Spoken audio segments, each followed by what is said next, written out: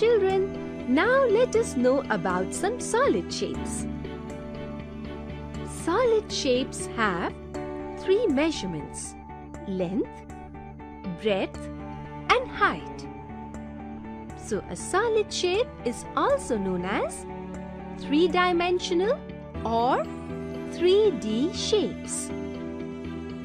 Solids have faces, edges, and vertices. Some of the shapes of solids are